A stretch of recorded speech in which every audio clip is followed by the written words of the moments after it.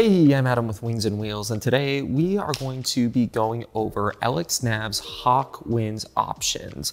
Now, this is an optional license that is going to add a bunch of cool features to your flight computer that you're going to find useful in flight. Now, to summarize what Hawk is, it enables instantaneous wind readings on all three axes. To start, your Vario will have two different needles instead of one. The red is the total energy reading, and the blue is the Hawk measurement. Using the Hawk in climb mode will calculate your potential climb rate. The best way to illustrate this is to imagine both of the needles, but the total energy is significantly lower than the Hawk. This could be due to flying sloppy in the thermal, making your actual climb rate lower than what it could potentially be, as shown by the blue needle. The Hawk needle gives you the best theoretical climb rate at that moment. In cruise mode, the total energy reading is going to be the same, but the Hawk is going to act a little bit different. Instead of outputting your potential climb rate, the blue needle is going to output a netto reading, or what LXNav likes to call a relative reading, which is going to show you the potential climb rate of thermals as you are cruising by. The best part about Hawk is that the algorithm will factor out horizontal gusts, which would normally mess up your total energy reading, always giving you an accurate output. You can see this in cruise mode when the red needle shoots up, telling you you're in lift while Hawk says it's a fake thermal. Hawk also shows you a wind indication screen that shows you two wind readings. The real-time wind direction can be seen on the blue arrow, while the wind average can be seen on the white arrow. The last feature to come with Hawk can also be bought separately, this being AHRS.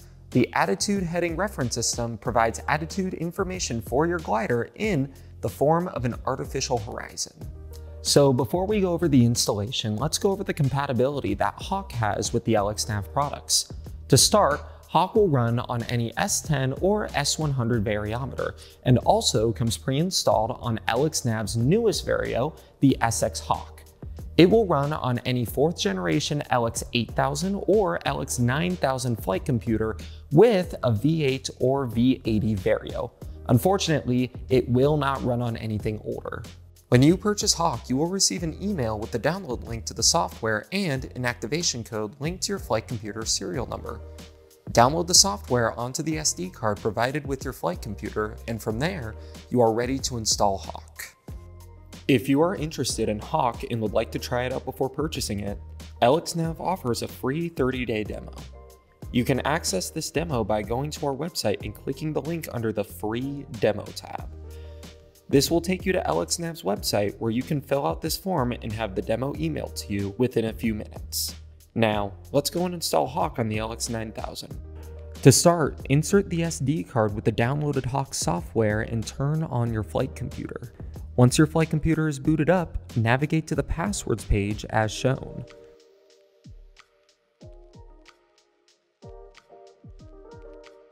Once there, enter the password 89891 to access the download file.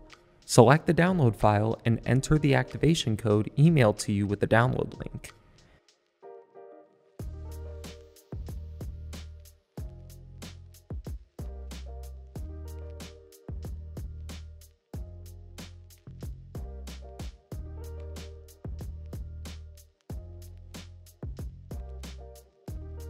From there, your flight computer will restart and Hawk will officially be installed onto your flight computer. Once the reboot is finished, navigate to the About page as shown, and you will see here that Hawk is now installed on your system.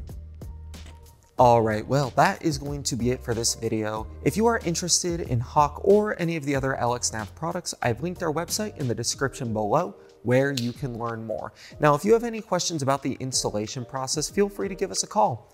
Thank you for watching, and I'll see you in the next video.